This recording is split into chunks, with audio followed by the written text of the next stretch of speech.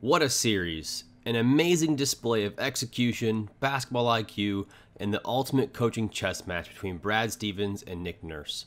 These two teams played at an elite level for seven games and handled all the adjustments, counters, and everything they threw at each other.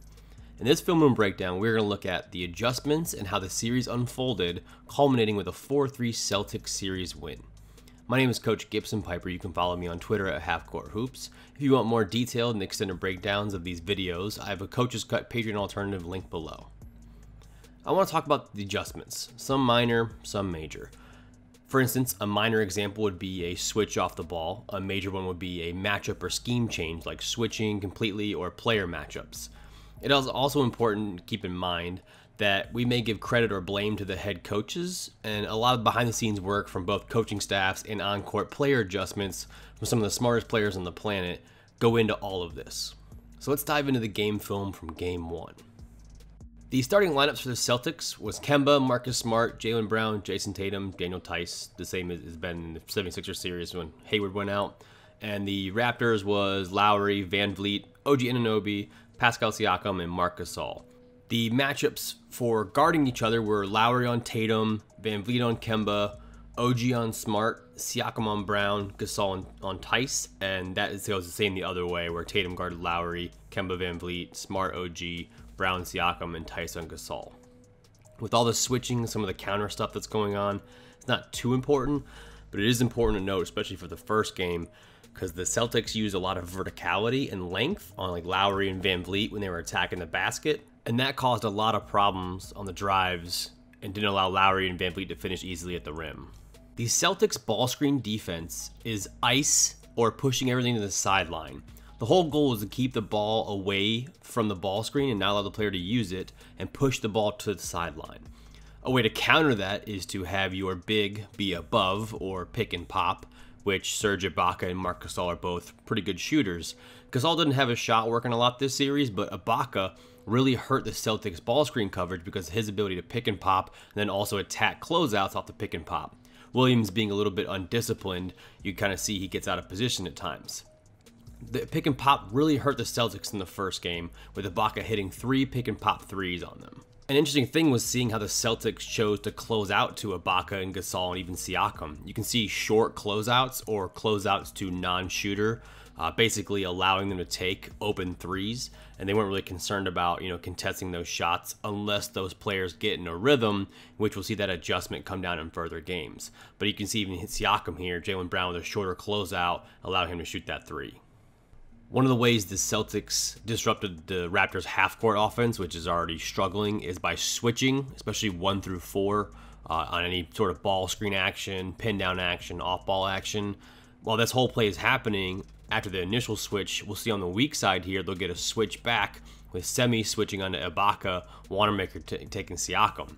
So they do off ball switching as well, which we'll break down after this. Theis jumps out here, switches onto Lowry, and forces the turnover they'll switch like for like, but sometimes they'll switch bigs onto guards. Uh, so in this scenario here, we see a little handoff, and Williams gets switched onto Van Vleet. Williams has been a little bit undisciplined in this series, but he does a good job here keeping a high hand and forcing a tough shot from Van Vleet there.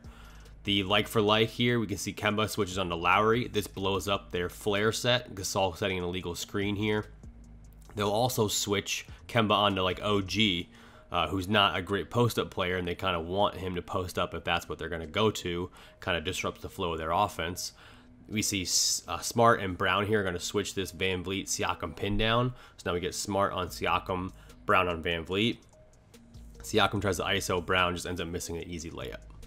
One of the things that the Celtics defense does at an elite level that really reminds me of those Warriors defensive teams is how they switch off the ball. So here we see Van Vleet's going to reject the ball screen, putting a defense at a disadvantage. Kemba's going to jump and take his drive. Tatum's going to switch onto Lowry, his man, and now their defense is set with Kemba on Van Vleet and Lowry being guarded by Tatum.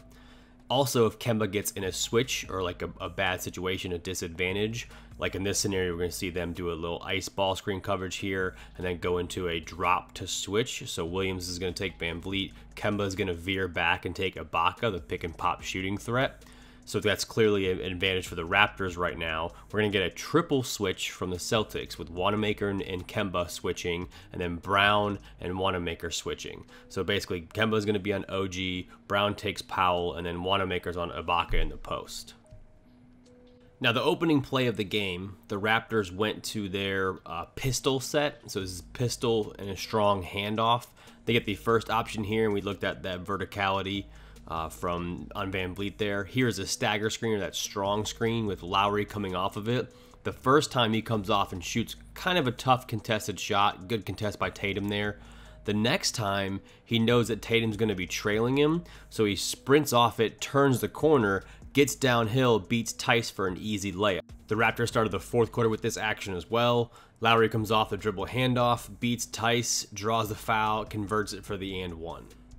The Raptors run what I call Boston action, which is a stagger screen with the first player curling into the lane and the second player coming off the screen. The Celtics in this scenario do not switch, so you can see Wanamaker stays on VanVleet, Tatum stays attached to Davis. VanVleet comes off a screen from Ibaka. This actually allows VanVleet to get a pretty good look from three, and we'll see how the Celtics adjust to this in the future games.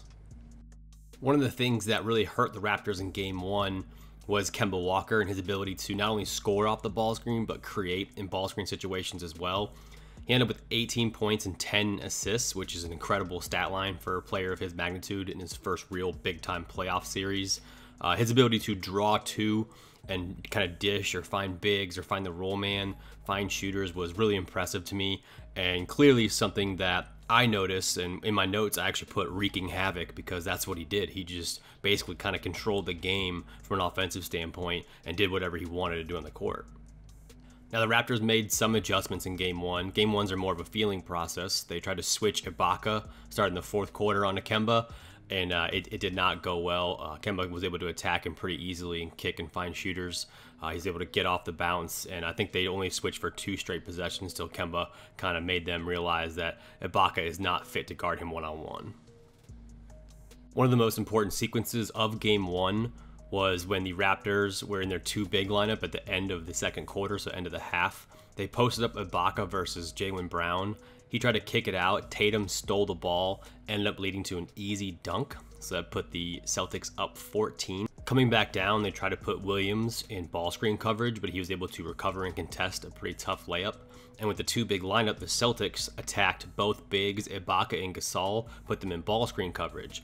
Kemba came off the ball screen, nothing really was open. He found Smart, but since bigs are used to recovering to the paint so often, Kemba was able to relocate and knock down an open three that was a huge five point swing it's always fun as a coach to kind of watch these games and look for subtle things that I think might be open in the future. And I'll write down, you know, possible after timeouts or examples that might be open. Here, Theis was open on the slip just for a second. Uh, you know, they, they didn't, weren't able to capitalize off of it, end up flowing into a pretty bad Brown kind of pull up, uh, missed shot. And then another example in, in, you know, a couple possessions later where you know, Theis looks for the slip. They might be looking for him, but you know, not not an in-game adjustment, and maybe something that will come up later, uh, you know, in, the series in the breakdown. But a good thing to kind of note as you're going through some of these game films. The Boston Celtics run this 11 ball screen or a double ball screen for Kemba Walker, usually with a guard setting the first ball screen, the big setting the second ball screen. The normal way that the Raptors guard this is to switch that first ball screen and then force Kemba to use the second ball screen as a spread ball screen and contest. Here's a good example of the basically back-to-back plays good contest by VanVleet both times, but two different results. You know, coming off this ball screen, this time Brown makes the three instead of Smart missing the three. So you can guard it the same way. It might not matter. Uh, but they generally would do this to kind of prevent a turn the corner and turn it back into a spread ball screen, preventing Kemba from getting downhill or attacking one on one and trying to keep some length on him as well. I want to show a little bit of examples of the Raptors and how they help on drives. So especially at the nail. So you'll see the player guarding the, the player in the wing or the slot in the nail over help or help in the lane and prevent any easy scoring opportunities. Baseline drives, same thing. You'll see them over help at the rim and basically allow corner threes. That's kind of their, their they led the uh, NBA in corner threes allowed. So they're going to basically load up at the rim, load up in the paint, and help on any drives. It's important to notice this because of some of the driving kick opportunities that open for the Celtics and some of the adjustments made later in the series uh, based on how the Raptors defense is set up to operate, uh, especially when they do, do different things like box and one and triangle and two and things like that.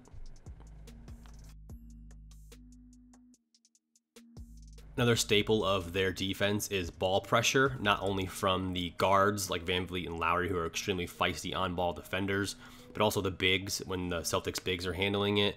Um, just an overall amount of ball pressure and pressure on the offense trying to disrupt, trying to create, you know, some steals, some transition opportunities. Their half-court offense obviously was not the best, ranking 18th, but they had the best transition offense. So putting pressure on the ball and creating easier stealing opportunities is a great way to, you know, kind of create your offense and get your offense going. And that is a lot of pressure on the ball and just being active. Now, game one, like I said, was more about a feeling out process the Raptors go to their 2 3 zone or almost like a 2 1 2 zone. In game one, they primarily had Gasol or Ibaka, the big man, in the middle, either low or high, depending on what alignment was the offense was in. But generally speaking, they would have their big either at the nail or low. Uh, no specials were run from the Celtics against the zone. It was just kind of like ball screens and, and, and basic you know basic actions against it. Here we see Gasol taking the high post when the high post flash occurs. Um, so they kind of just had a basic zone offense, one three one. You know, ball screen it, try to attack. Got clean looks, but ended up just missing them. Eleven zone possessions, uh, six points and four turnovers. So not a good zone offensive action from the uh, Celtics in Game One, and we'll see how that kind of evolves down the line through the Game Seven.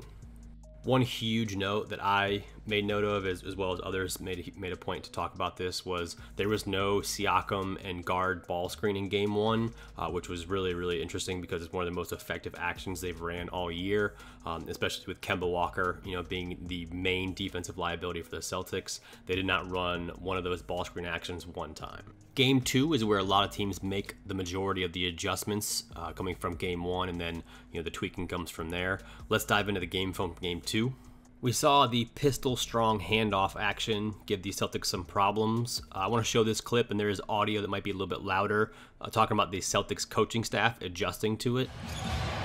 Three turnovers for Marcus Smart. Hasn't been as impactful on the offensive end as he was in game one. Celtics have seven points in the quarter. So you could hear them there calling out their call probably for a blitz or you know a trap of that action. Uh, Theis jumping out really thwarted that action. The mistake here from Williams is he wasn't ready for that set and allowed Lowry to turn the corner and finish with the layup. When they went to this action again in the fourth quarter, here we see Tatum is above switching onto Lowry, going underneath, and Lowry ends up throwing the ball out of bounds. I want to show this baseline bounds uh, stagger set or strong action that the Celtics do a pretty good job of defending here because it'll come up later where it's a key moment where they don't defend it very well. One of the things that was noticeable in game two was Ibaka's ability to exploit the ice or drop ball screen defense from the Celtics, as well as you pick and pop, but as well as roll, be a spot up shooter, uh, and just basically impact the game positively, forcing the bigs to have to recover to him a little bit higher. Uh, and I've noticed he just did a much better job of finishing around the rim, something that we had to look forward to, you know, adjustment for games three and four. Siakam struggled this series. Uh, Nick Nurse tried a lot of different things to get him going. He received that strong Boston action. Uh, they're going to get a pass to VanVleet, and then as soon as Siakam gives the ball up, Brown kind of stands up straight. So they're going to kick it right back to him for a designed ISO to get downhill. He ends up driving Brown. Brown does a great job recovering and up blocking the shot. Coming out of a timeout, the Celtics go to their hook uh, into a ball screen, so they keep it and throw it into a ball screen. VanVleet on this ball screen is going to notice that Smart is on Ibaka. Then he's going to say, wait a second, that's not right. Flip it over to OG, who has Williams on him. They designed this by basically putting Smart in ball screen defense. OG is able to drive Williams to get an easy layup. Great recognition by Fred VanVleet there. Game one, they didn't run this guard ball screen action for Siakam one time. Game two, they ran it 11 times. I'm also including a clip of the game two breakdown I had emptying one side of the floor. This clip right here is my favorite example of why Nick Nurse is awesome. As we see the Coach of the Year graphic on the screen, and Nurse organizing and telling players where to go. Since the Celtics and Kemba Walker would hedge and recover the ball screen, the Raptors went to that same ball screen for Siakam with the entire side of the floor empty, allowing Fred VanVleet to be wide open on a pick and pop make three. Just a great play design and a great adjustment. Now, the next possession, they ran this action again. The adjustment here was Kemba denied VanVleet to be able to go set the ball screen or jammed it. So if he jams it, it doesn't allow the ball screen to be set towards that side of the floor. They ran a little two-man game. VanVleet misses a deep three. Great adjustment by the Celtics. The Raptors had a lot of success in game two, running their horns flex into a Chicago action. So this basic flex screen with Lowry setting like a back screen almost here on Brown.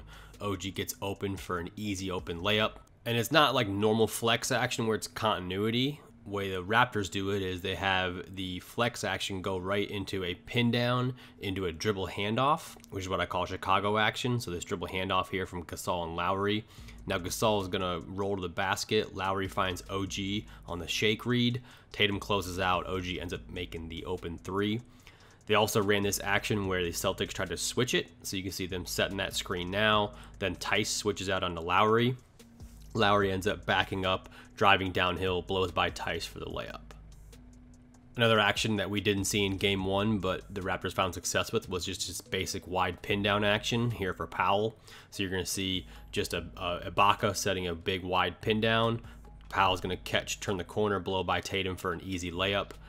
Another thing I took note of when watching the game film was Fred VanVleet did more relocating, so they had a little more better ball movement. He would pass and then relocate a little bit quicker, was able to attack a couple of closeouts, one here from Kemba to make the easy pull up, uh, just being able to pass and relocate. And this was kind of a theme uh, going forward for VanVleet, where he would give it up and then relocate and get it right back. And that's important versus Celtics defense that's very good when it's set. The Raptors defense still wasn't doing a great job on the double fist or 11 ball screen the Celtics run. They would switch the first one okay, uh, but they weren't doing a great job in terms of like getting over the second screen and really fighting through it. They blew a couple of, of opportunities to defend that.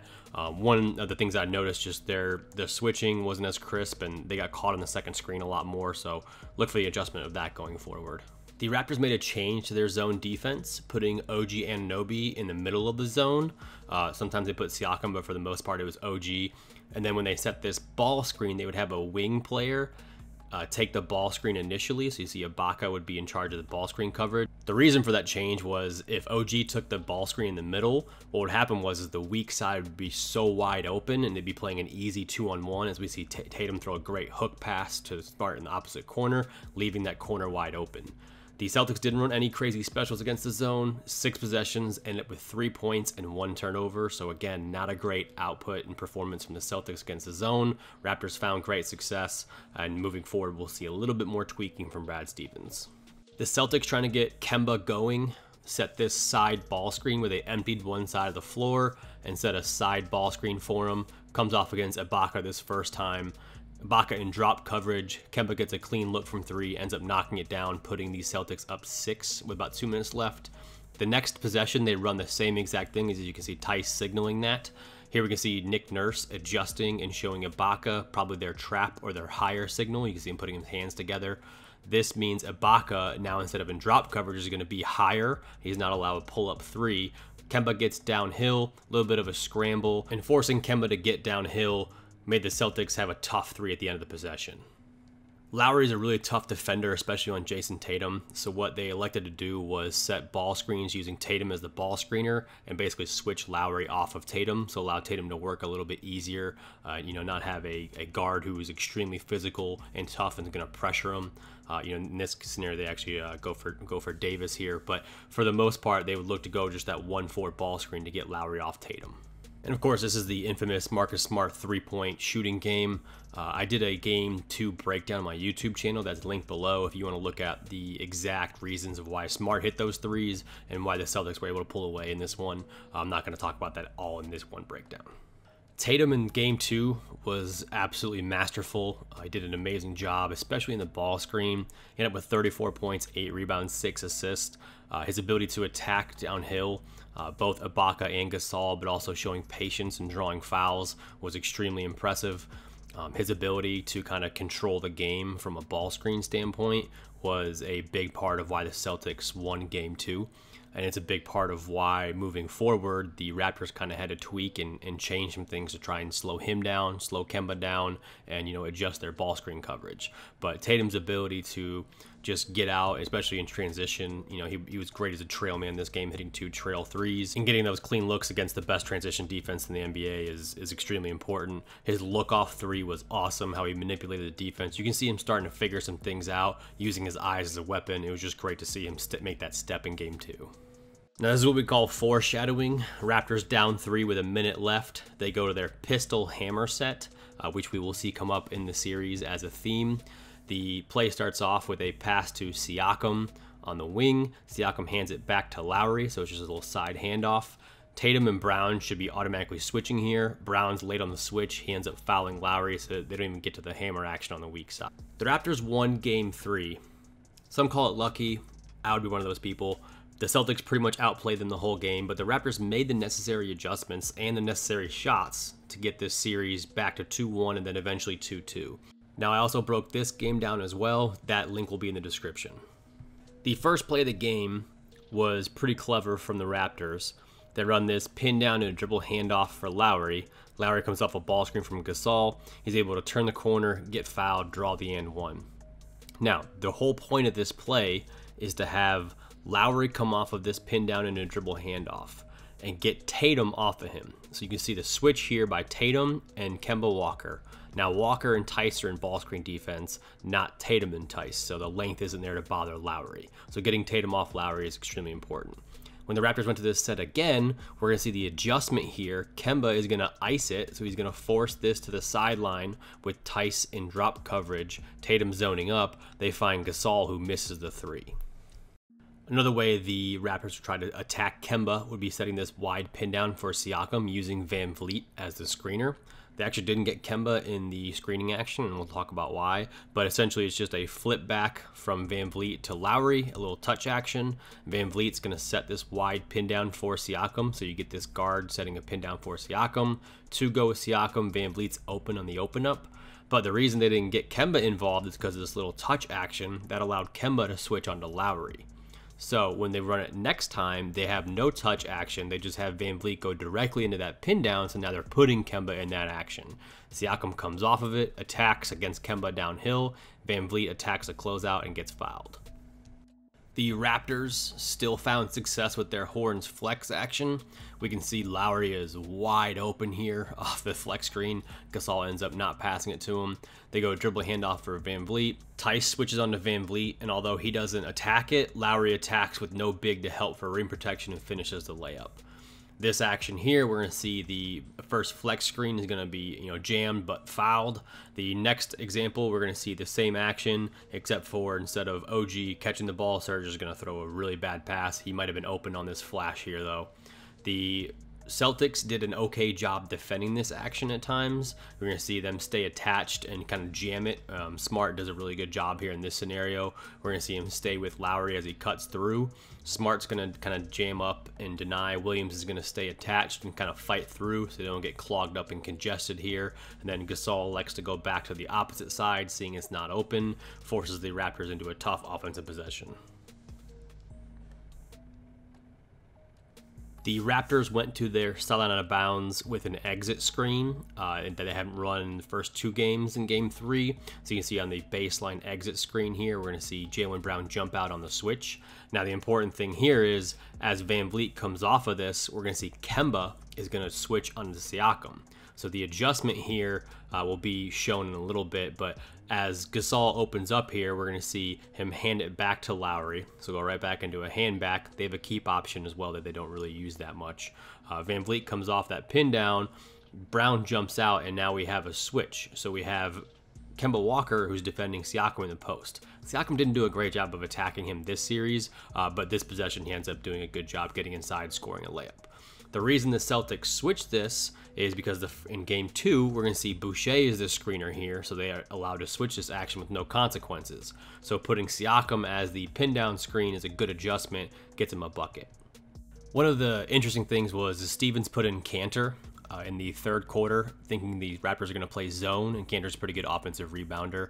Uh, but one thing he's not good at is defending the ball screen, and the Raptors exploited that a lot. They ran five straight possessions of ball screen, uh, scoring four of those times, and just basically doing whatever they wanted to, getting their offensive rhythm back when Kanter was in the game. So, not a great adjustment by Brad Stevens, but the Raptors sure were happy about it. The Celtics still didn't adjust to the wide pin down action. They still trailed it and they got scored on twice.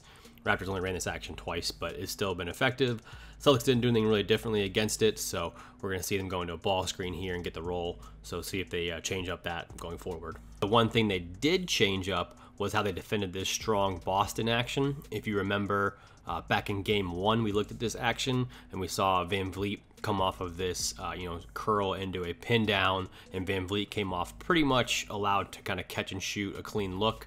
Uh, you know, uh, okay contest, but it didn't really defend it that great.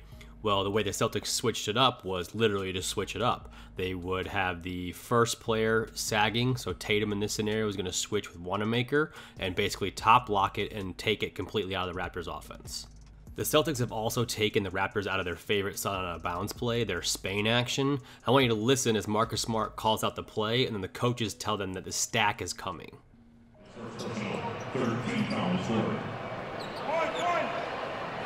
So Brown picks up his first. So you can hear the staff yelling out stack, stack, stack, signaling that's the Spain action, what I call Spain action. And that means Theis needs to get out and hard hedge and basically almost trap this ball screen. The reason he traps it is because now Lowry, who should set a back screen on him, doesn't have anybody to screen the great adjustment here is it takes the Raptors out of their favorite sideline out of bounds play and a sideline out of bounds play that I have like a six and a half minute edit of, which is really abnormal for an edit. So it's a good adjustment and something that they also did in the half court as well. So you'll see them run uh, the Spain action out of chin. So you see Williams come up here and trap it. So there's nobody to set a back screen on and just do a good job of taking the best plays away from the Raptors. We talked about the 11 double fist screen, and we're going to see the Raptors are going to change up their ice coverage on the ball screen instead of switching it, so they don't even allow the Celtics to use the ball screen. Goes into a spread ball screen. Gasol is obviously higher, ends up being a turnover on the roll here, so a good adjustment to ice that ball screen. The Raptors also made a change in their ball screen coverage, essentially trapping Kemba or Tatum. And what they'll do is allow the roll man to be open. So you'll see Theis had this open roll here, and they'll allow him to shoot that mid range jumper all day. But essentially, it was either trap Kemba or trap Tatum and force anybody else to make a play this adjustment was really effective in my opinion because it took those guys out of their comfort zone and although the Celtics you know are still a talented team it really made other players beat you and if you have Williams and Theis setting those ball screens it you know it's they're not the best playmakers out of the ball screen, so it didn't have too much of an impact on the Raptors' ball screen defense. Another way that the Raptors basically took Gasol and Ibaka out of the ball screen was just to avoid the ball screen with switches. So switching, you know, Siakam first and then switching this Siakam action second, it took the Celtics out of their rhythm and flow. Here we see Tatum's forced into a late clock ISO in which he throws up a prayer uh, at a critical moment in the game, not allowing the Celtics to score and, and you know add, their, add to their lead. Another way that the Celtics countered this was to have uh, you know multiple kind of curl actions. Siakam's playing above, gets caught you know, with Jaylen Brown catching it and attacking, wasn't able to take advantage of this situation, but a good counter by the Celtics. We also get the first sighting of an exotic zone, so we get a triangle and two on Jalen Brown and Jayson Tatum, with the three players in a triangle helping off and then adjusting as the offense kind of runs their their whatever they're running. Um, the basis of this is just take basically Tatum and Brown out, especially when you have Smart, Tyson Williams on the floor. Um, you know, three other players who aren't great at you know creating their own shot or you know doing different things in that scenario. So here we get uh, triangle two on Kemba and Tatum forcing Kanter, Williams, and Wanamaker to make a play. So great adjustment by Nurse to basically force the other Celtics to beat you, uh, which they did not do. The counter that the Celtics had against this was to run a horns ball screen. So you're going to see put the two players who are denied in the corner and then have the other two players set the ball screen. So, you know, Smart gets a good look from three here. Lowry does a good job closing out, ends up hitting the shot anyway. Another way to combat the triangle into defense, as you can see uh, Lowry calling out triangle there with the hand signal triangle, is to have whichever one of the players is denied. Uh, so in this case, it would be Tatum. So they're doing it on Tatum and, and Kemba Walker. Just have Tatum to isolate at the elbow. The whole point of a triangle into defense is to take those two players out of the game. Uh, what I didn't like about the Raptors' execution here is they just allowed Tatum to catch the ball. One of the players that you're not supposed to have him catch the ball or touch the ball. Um, he, you know, he gets it and then is able to isolate at the elbow, which is still probably an advantage for the Celtics. The Celtics wanted to get Kemba Walker going early, and they used this overrun dribble handoff to counter the pressure of the Raptors. So he would run past the dribble handoff, then come back for a handoff. I broke this down uh, a lot more detailed in the Game 3 breakdown. Wanted to show it here as well. A good counter to the pressure of the Raptors. They ran the double fist action, extremely effective still. Um, you know, they would hunt Ibaka and, you know, not be satisfied with whoever's in the ball screen. You can see them go into a step up here at the very end after the double fist, pretty much making it a priority to put Ibaka and Gasol in the ball screen. Um, the double fist action was extremely effective for the Celtics as Kemba kind of was still, you know, having his way, especially getting downhill against Gasol and Ibaka. Those guys couldn't handle him guarding, you know, going downhill. You can see them being ultra aggressive here. Kemba still, you know, attacking it. They go into a spread ball screen. They just keep going and keep allowing him to get downhill. Even when the traps um, you know, occurred. It just didn't matter. But Kemba and Tatum were extremely effective, and so in the first half, when you're when you're recognizing that um, as a coach, you want to try to get out of those scenarios as much as possible. That leads to the triangle into it leads to the zone defense. It leads to you know switching things up even more and you know trapping was pretty effective uh, one of the things that was interesting against trap is the roll man actually was pretty effective against it they found a cutter back door um, they found you know a couple of different early kick out scenarios that you know was allowed to you know find open shooters, which I thought was interesting. You know, Theis is actually a pretty good passer. Um, you know, I thought he did a good job handling those trap situations, but definitely something to see how they handle in the future. And of course, the last play uh, in regulation before the buzzer beater was the Kemba driving dish first that trap. You don't win many games giving up 24 second chance points, and that's exactly what happened in Game Four. Uh, the Raptors did a really good job crashing the glass. The Celtics, honestly, their defensive effort on the glass was pretty bad. Um, giving up 24 second chance points, you, you don't win hardly any games. I don't have any stats on you know the record when you give up more than 20 second chance points, but I would venture to say you don't win a lot of games uh, doing that. So one of the key adjustments moving forward from this game was to just the Celtics get more rebounds. That would be the, the best adjustment. Go go in the locker room and say, guys, rebound the ball better. Uh, but ultimately uh, Ibaka had more success against the pick and pop. So you see against the ice coverage. Uh, Lowry does a good job attacking and, and, and, drawing two and finding Ibaka on the pick and pop. One of the things I really loved is, you know, he had the ability to pick and pop, but, you know, it wasn't really like they're running a lot of plays for him. And the pick and pop, you know, swings, the extras, the Celtics just weren't as connected as they have been. Uh, but once Ibaka hits a couple of pick and pops, we can see him setting this wide pin and then opening up. So this is a design set for him uh, after a timeout, catching Theis sleeping, which I love from from Nick Nurse. Um, a new set that they ran with a little guard to guard ball screen that I absolutely love. I've never seen them run anything like this before. But essentially, it is to get Kemba in a step up ball screen with a VanVleet Lowry pick and roll. Uh, pretty creative, so we'll go back and look exactly how this was run. Um, it's a little bit of kind of dummy action, and we call that you know fake action before the initial action. So Lowry's going to come off this like double baseline screen almost, little handoff from VanVleet with Kemba switching on VanVleet on this strong side. Then we get a pass to Lowry, a little bit of ball movement. VanVleet's going to sprint up into this step up or set, you know side ball screen for Lowry. Lowry attacks Kemba, gets downhill, draws the defense, finds Ibaka for the easy finish. Another new set that they ran was uh, started off with like an elevator look. That's just kind of fake action. An Iverson cut for Lowry with a back screen. So Siakam setting this little back screen for Lowry, maybe looking for off the, you know a quick one off that. You can see Jaylen Brown does a good job defending the back screen hands up, but this gets him out of position. So when VanVleet sets the pin down, he's late on it, gets Siakam a really clean look from three, and he just ends up missing it. Another new set was this horn set where Lowry would set this back screen, then come into a dribble handoff. Tatum does a good job running him off of that. Uh, Lowry ends up just missing the three, but you can see Nick Nurse and his offensive sets were, were extremely effective in terms of creating an advantage for the offense after a timeout. Against the Celtics, ice or drop coverage, we'll see VanVleet, Lowry, and, and some of the guards and the Raptors get really clean looks off this. Uh, and as a coach, you just have to be kind of nervous about you know giving them this clean a look. Um, you know the guards of the Celtics weren't staying as attached as they should have been. Um, it just was way too clean looks for my own personal liking. A new set that we see is with at the elbow is just elbow scissor action where you see guard screen for the other guard. Lowry gets another clean look off of that, you know, great action. We talked about that strong or stagger baseline of bounds at a critical moment in the game here. Lowry gets wide open look off of that stagger screen. Tatum isn't able to stay attached on that.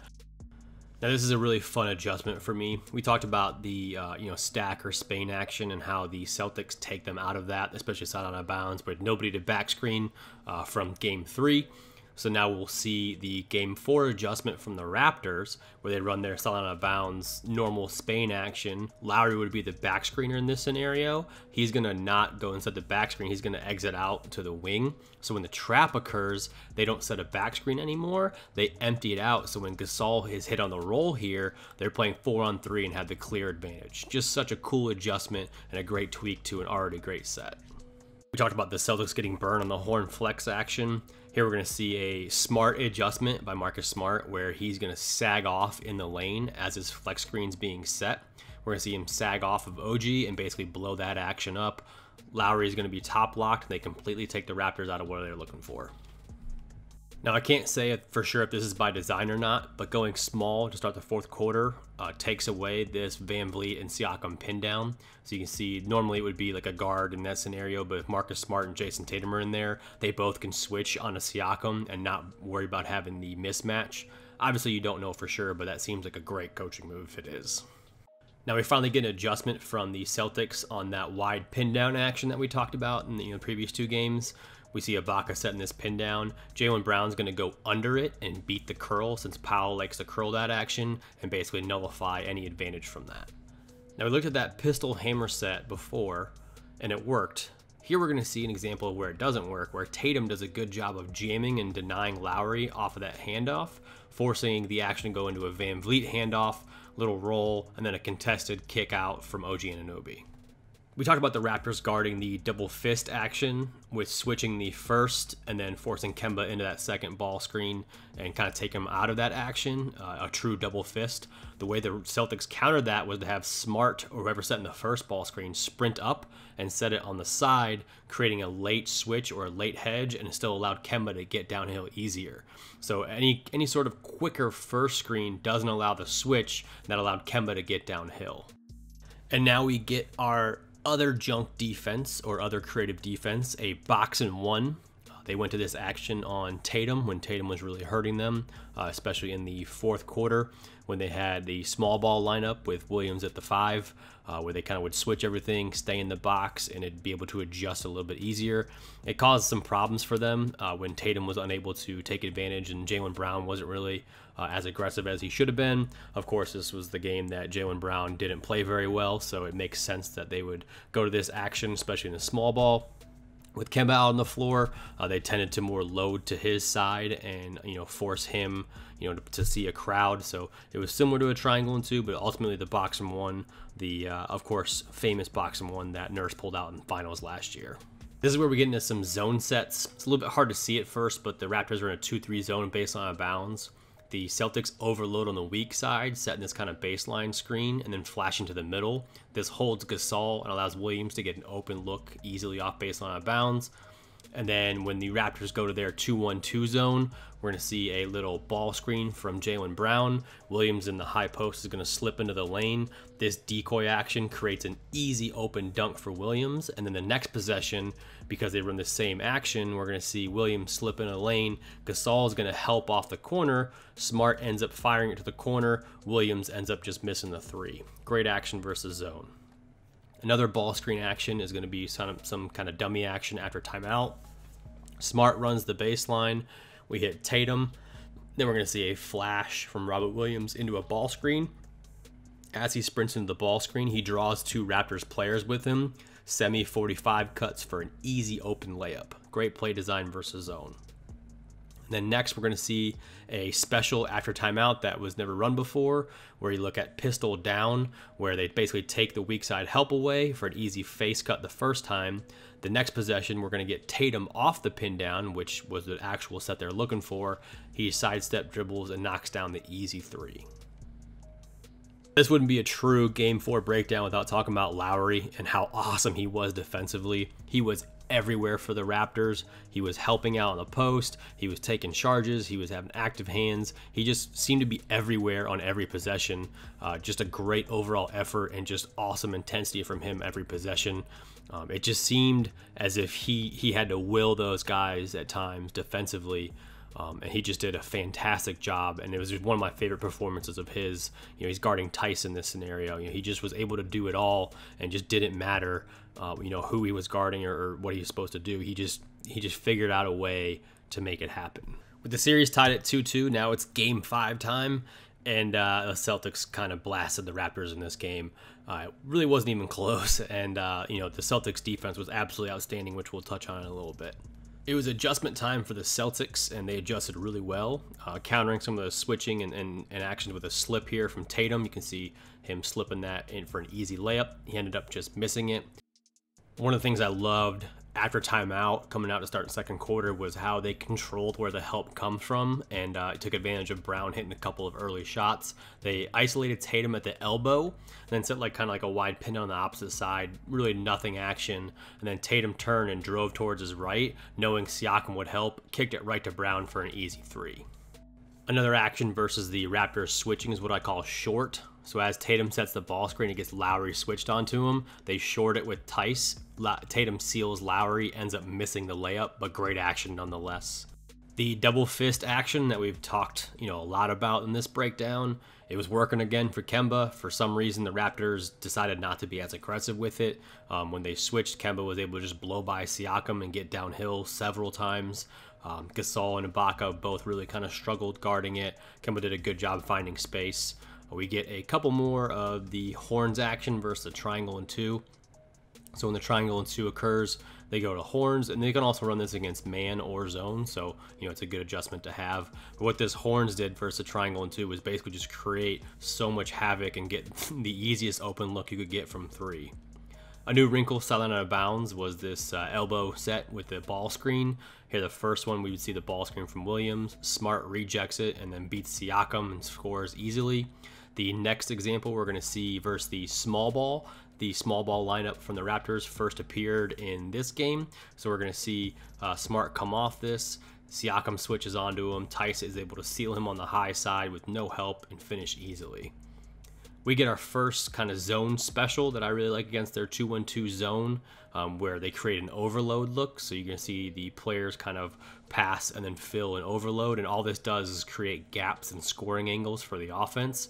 So what it's supposed to do is kind of send two or three players through on the same side, and what that does is it creates two or three players from the Raptors are going to have to adjust, and it, it pulls a big out to the wing and it kind of creates a matchup problem. You can kind of control who you're going to attack when you run this action. So if you're trying to pull Ibaka, trying to pull Siakam out, you just run it towards their side, and now you create a natural overload, and it's easier to score. Now, it wasn't for lack of trying. Uh, you know, Nick Nurse tries everything. He's he's been known to do that. They ran a 2-2-1 press um, you know, in third quarter, down 20, just trying to find a spark, you know, small ball lineup. Maybe they can get some easy buckets, cut it to 15, you know, cut it to 10 by the time the four starts. Uh, just trying to create some, you know, easier scoring opportunities and just create some confusion, frankly. Um, the 2 2 1 wasn't really as impactful as it has been in the past. The Celtics kind of were prepared for it, did a good job handling it. By the time they really had any success with it, the game was pretty much out of reach. Um, but yeah, it, it, just Nurse tries everything, and you could see him doing that and going through his progressions. I think this game they tried uh, more two to one than I've seen in the past. They ran about eight to nine possessions of it in the fourth quarter, just trying to cut the lead, and uh, it just wasn't successful. I do like this after timeout corner set. Um, they ran this a couple times in the regular season, but you'll see uh, a pass to the big in the corner, and then a fill from the weak side. So in this scenario, Powell is going to come off this kind of like corner pin down or baseline exit screen. Williams is out of position for help here, but his length is actually able to allow him to recover, which was uh, pretty interesting to see. You know, he makes some simple mistakes, but he makes up for it really well. The Raptors ran their elbow X action with the first time Kemba being picked off. Here we see Nurse actually calling the play call. We call it X, so you just call it X. You uh, pass it to Gasol in the middle, and then the two guards screen for each other. So the first time Kemba got picked off on it, the next time the Raptors went to it, we're going to see Smart and Kemba switch it. So Kemba's going to take Lowry, Smart's going to take Van Vleet, and they nullify that action completely. The another adjustment they made was off of their chin Spain action, so they adjusted to their Spain action style out of bounds. This time we're going to get, instead of a backspin from Van Vleet, he's going to fill to the opposite corner, just a shallow cut. I love Wanamaker's IQ here as he switches and helps onto Ibaka, so it basically takes away any advantage they have from that shallow action, and they can test a three on the weak side. The biggest adjustment that allowed the Celtics defense to succeed was their basically ice to switch defense. It nullifies anything Ibaka brings with their pick and pop action. It does have a guard on a big, so a big switches onto a guard, but they were okay living with that as long as they didn't give up a pick and pop three. So the biggest thing that we looked at obviously was Ibaka hurting them from pick and pop three. Um, you know, they loaded the ball in ISO as long as they can get a good contest and they're not getting blown by. It's a good adjustment to make, and it really worked well. You know, Theis was able to contain Lowry and Van Vleet. Williams struggled with it because he's undisciplined, so Lowry can use some of his tricks. But this adjustment really, really helped them win Game Five, holding the Raptors to 11 first quarter points. Game six was such a thrilling game. Double overtime. It was awesome to watch. Both teams playing small ball down the stretch. Not a ton of adjustments in this game since both teams kind of are who they were, and the Raptors played a lot of box and one. So we'll look at some of those box and one sets. But just a great game, and I broke this game down in the coach's cut uh, with you know the last basically 20 minutes of the game going in depth as possible because it was just so great to see. We talk about how the Celtics couldn't guard the flex action very well, so Nurse opened up the game with this little flex special using Van Vleet as the cross screener, putting Kemba in the cross screen. He kind of hits Jaylen Brown here, and that gets Siakam to the free throw line where maybe he can build confidence leading into this game. They also ran this action out of like delay, where you see Lowry set in that flex screen now. Now, Smart and Tatum are going to switch this. Van Vleet's going to notice that they're switching. He's going to screen his own man, Kemba, and that leads Tatum to close out and then foul Lowry on the three and one. Another after timeout special was using a ball screen with a cross screen. Lowry setting the cross screen this time. Siakam is uh, unable to finish this here, but the reason that this wasn't as open as it could be is because Kemba is in the corner guarding Powell. A little tweak on the matchups after timeout, so they don't put Kemba in the cross screen again. In the second quarter, the game could have got out of hand. The Raptors were able to find Ibaka in transition two separate times. You can see Lowry probing here, finding Ibaka on the trail for the three. And then the next possession, Siakam definitely looking for Ibaka on the trail here. He hits another three. Then, after a timeout, after he just hit two threes in a row, Nurse draws up this action where you post up Siakam and then have Lowry, who is guarded by Kemba, set the pin down on Theis. So Lowry pins for Ibaka. Theis runs through Lowry, probably flops a little bit. Ibaka hits the three, and Lowry goes to the free throw line. Great action after a timeout. We saw the Celtics were switching and you know doing a lot of ice to switching with bigs on the guards. This is more of an emphasis than an adjustment where the guards get downhill a little bit easier and kind of attack the bigs downhill versus just settling and letting them switch. Van Vleet and Lowry did a great job of getting downhill and finishing at the rim. Powell does a good job here. Good tweak to their, you know, normal attacking. After Van Vleet hit three free throws, they go to the pistol hammer set for him, and I'm not sure what the Celtics are doing here as Kemba and Williams are just completely confused. Van Vleet gets a wide open look off the hammer, which is their favorite play and just really bad defense. Now expecting the ice to switch action, you see Lowry end up probing a little bit more, was attacking with a little more confidence, knowing that, you know, that's the defense is going to do. Didn't really catch him off guard anymore, so you could see him getting downhill, you know, attacking more, using his body, you know, trying to basically force a foul on the big. Uh, in this scenario, he ends up getting downhill, turn, hits a nice turnaround pull-up jumper. They're in small ball, so it's a little bit easier for him to play with, you know, more confidence. Since the double fist action was hurting the Raptors a lot, they decided to go to ice ball screen coverage against it. the Celtics automatic counter is to flare the first ball screener with the second ball screener. So basically create another advantage just going off a flare screen.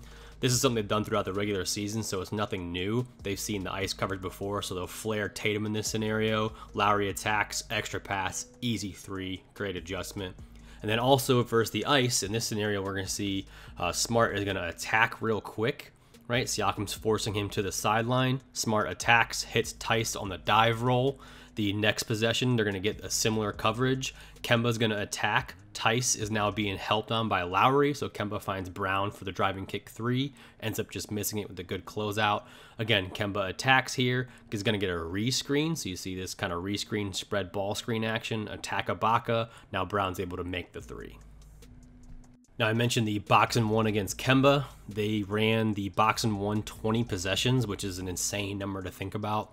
Um, you know, basically just take trying to take Kemba out of the game completely. You know, they, with their small ball lineup, they didn't. They were able to switch more, but the Celtics did a good job kind of figuring out ways to attack the box and one. We'll look at that more in Game Seven. But you know, being being able to basically just kind of create natural overloads, create the advantage you want. So here, Ibaka is on Brown, so they get it back to him. He's able to attack him in isolation, one on one downhill. And then another way they did it was they'd run like an overload or some of their basic zone action against the box and one. It didn't really matter, um, you know, what defense they were in. They would run this overload action because they're taking away the help, you know, from inside the paint. So here we see Ibaka on Smart, and then they'll throw side ball screen action with Kemba as the ball screener. So you can see Smart rejects it, kicks, Wanamaker finds, you know, open open shot. The next action, they run this exact same side ball screen with Tatum. Tatum comes off it. He's able to find Smart in the opposite corner for a corner three. So they started to figure some things out in this game. And this leads us into game seven 3 3 Celtics Raptors, the culmination of an amazing series. And of course, the Celtics end up winning it. The Raptors opened up the game with a pretty clever counter to their normal, you know, hook Knicks ball screen. Uh, so we looked at the regular one. You see Gasol opens up here. He's going to pass it to Lowry. And now we're going to get a guard-guard ball screen, similar to that new set we talked about in Game 5. And get Kemba in a ball screen. Kemba kind of gets knocked over, and Lowry starts the game with a 3. The same exact ball screen special that I mentioned, we run for Van Vleet and Lowry again in the fourth quarter. This time, Jaylen Brown's on Van Vleet, so he's able to switch. Lowry takes a pretty tough fading three. And the reason for this was this initial handoff actually took Kemba off of Van Vleet. So the handoff here has Kemba on Powell now. So when they go and set the ball screen to the other side, it's now Jaylen Brown and they can just switch it. I like this elbow rip dribble handoff set. Uh, you see the Iverson cut by Powell, a pass to Gasol, and now Lowry sets the back screen and goes into a dribble handoff. Uh, he's able to get down, the little pull up ends up just missing. What I love about this is it's a combination of this Horns rip dribble handoff that we looked at, as well as the Iverson AI rip set. So it combined both of those to go into the one set. So it kind of is a, is a good after timeout counter because it disguises what you're really trying to do. A newer set that the Raptors ran in this series is this little weave action especially later in the fourth quarter, two minutes left in the game when the Celtics were small. Lowry was able to turn the corner on Williams and get downhill. Now they substituted Tyson to the game with five fouls. Lowry was able to turn the corner and get him his fifth foul and going to the free throw line, cutting the lead to two. Now, what I love, this is really cool against Celtics zone. Three players for Raptors all in one corner. You see Nurse guiding and telling Powell that he's going to be the player coming off the screen. So normally Van Vleet's going to set this pin down for Powell. He ends up slipping into the middle of the zone wide open, ends up hitting an easy jump shot. Great adjustment and kind of tweaking in game by Nurse. Now, we talked about that strong Boston action where you switch it. So you see Brown's going to switch here with Kemba. Now, Jaylen Brown's going to go underneath this second screen. And what I love to watch is the coach's reaction. So watch the Celtics bench here. When he goes under this screen, they get so nervous and a little bit upset because that's not what you're supposed to do. You leave Van Vleet open for a three. And although VanVleet wasn't open off the ball screen, Gasol did get open on the roll and got fouled. Now, another counter to the Chin Spain counter that the Celtics are going to have is to get the correct players in the ball screen defense. So we see a switch from Kemba and Semi, and then we're going to get another switch from Smart and Semi onto Van Vleet, switching that Spain action. Then we get an off ball switch from Tatum and Kemba, and it basically nullifies any of the initial action. The reason is they put Williams on Siakam after the timeout. So Williams is on Siakam, so now when they go to this ball screen action, Williams is off the ball. An issue with that is there's no rim protection, and he's helping in the corner, so Lowry's able to get downhill and make a layup. So it kind of works both ways. Now, against the box and one, the Celtics run this blind pig action, or they throw it to Daniel Theis, who looks for a handoff for Kemba. The handoff is initially not there, and the Raptors do a good job kind of containing this. It's going to flow into a side dribble handoff for Smart, and because they're so worried about Kemba, it turns into like the snake and seal action they run. Jaylen Brown gets an open corner three. Another way they counter the box and one was to have a player cut through like Tatum to the opposite side. Kemba then would screen the low man. So he's screening two people in this scenario because he's screening his own man who's not going to leave him and screening Gasol. So this creates a natural overload at times, and you'll see what it does is, you know, Jaylen Brown misses the three there, but what it does is it allows them to kind of control a matchup. So you see the ball screen at the same time, the pin down screen. So now Gasol and and Van Vleet are going to switch. So now we have Tatum being guarded by Van Vleet, and now Gasol has to worry about: Am I still denying Kemba? Am I on Kemba? What am I doing? So now he goes with Kemba. Smart's open in the corner. Kemba drives into space, finds Smart for the open three great counter and great action against the box and one. And you see they go against Tatum. He sets that screen into a ball screen. Smart misses the three. One of the things the Raptors did a great job of is avoid switching Gasol at all costs. So they had Siakam in ball screen defense. So anytime they would sprint up for a ball screen, they would just sag and have another player take the ball screen coverage. So you can see them trying to get Ibaka in the ball screen. Van Vleet stays high. Ibaka goes to Semi. Semi goes up for a ball screen, and Powell sprints up for a ball screen. The ball screen defense to switch it. Ends up a Tatum ISO at the end of the quarter. He ends up missing the shot. So he did a great job of avoiding switching the big into the ball screen at all costs. Now this was not without its consequences, as we can see Gasol's on smart in this play, so we can see Tatum drive downhill, and now it leaves Lowry and Van Vleet to box out Theis. They do a great job boxing out, but Theis is still just bigger than them, so he gets the rebound. Again, spread ball screen action. Ibaka's on smart now. Tatum looks off Ibaka, finds Theis on the roll. Theis is able to finish through contact. Again, Smart is now clearing opposite. Lowry takes Theis. Tatum is going to get downhill after the slip. Tatum's going to find Brown. Now we have Gasol closing out on Brown. Brown pump fakes and hits the pull up. Kemba Walker obviously was being guarded with box and one for most of the game. So when they weren't in box and one, the after timeout special is to fake this ball screen and go into veer action and set this pin down for Kemba. Ibaka's sort of sagged off in drop coverage. Kemba comes off, goes one two, rises and knocks down the three to start the fourth quarter. Another set that they ran in the fourth quarter uh, when the Raptors went to their small ball action, the Celtics countered it with their small ball action when Theis got five fouls instead of going to Williams. They isolated Tatum at the elbow and a stagger screen on the opposite side and had both players kind of seal and look for maybe slips. That left one on one Tatum versus Siakam in isolation. He was able to take advantage of the no rim protection and score the layup. The next possession, we get that same exact action with Tatum isolated at the elbow. This time he's going to look off OG, and this is really clever. After he gets fouled, we'll show this replay.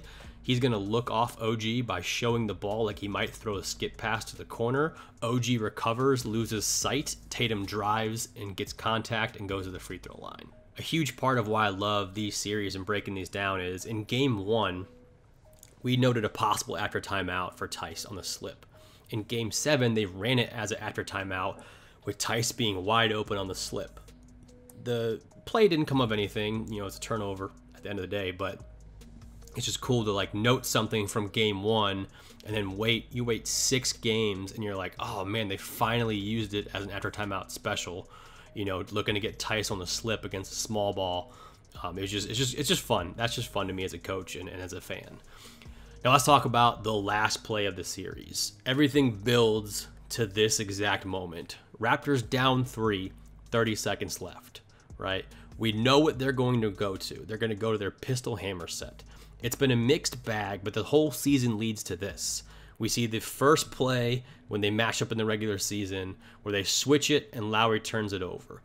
We witnessed it in game two when they run this action, they blew the switch, Lowry gets fouled on the free throw. We saw this action in game four where they jammed it and did a good job taking it away, forcing them into a little, you know, contested three. We saw this action in game six where they ran it for Van Vleet for a wide open three and the Celtics completely blew the coverage. So everything goes into this one play for your season. Smart and Brown do a good job communicating and switch this first action. Tatum and Kemba do a good job communicating on the weak side and taking away the hammer action. Now it's one on one Van Vleet versus Brown. The idea here is to have Ibaka go up instead of ball screen and get Williams switched onto Van Vleet, which is a good play because Williams is probably their weakest defender out there. This is where the Celtics miss Hayward more than anything else. Williams does a good job switching out on Van Vleet, and late in the shot clock moves his feet, active hands, and as Van Vleet rises, he's able to contest, block the shot, and win the series for the Celtics. Thank you so much for watching this breakdown, sticking with it the whole time. I really enjoyed this whole series from a coaching standpoint, adjustments, everything about it was absolutely fantastic. I hope this breakdown did it justice. If you enjoyed it, please feel free to like and subscribe. I look forward to doing more.